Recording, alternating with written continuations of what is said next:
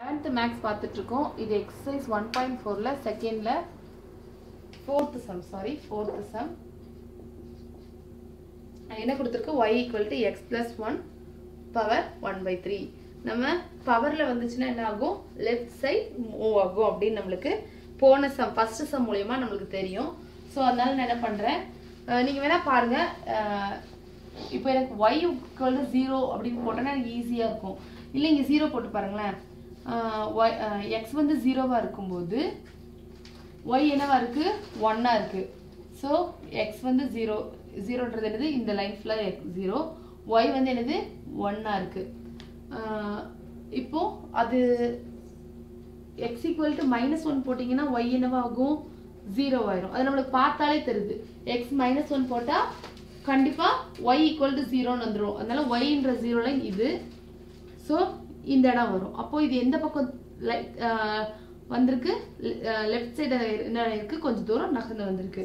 So அதனால தான் எழுத போகிறேன் Y equal to X power one by three sorry X Y equal to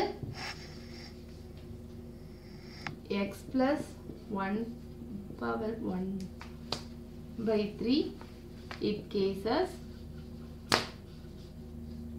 it cases the graph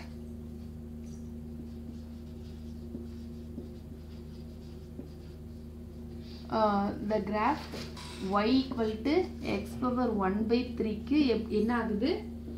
அதில் இருந்து எங்கே ஷிஃப்ட் பண்ணுறோம் shift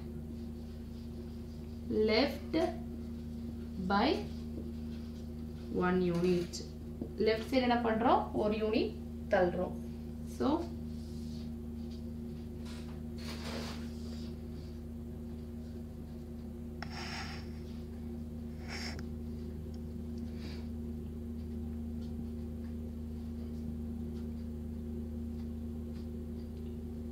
அந்த கேவ் எப்படி இருக்குது எப்படி இருக்குது நம்ம என்ன பண்ணுறோம் இந்த சைட் கொஞ்சம் தள்ளுறோம்.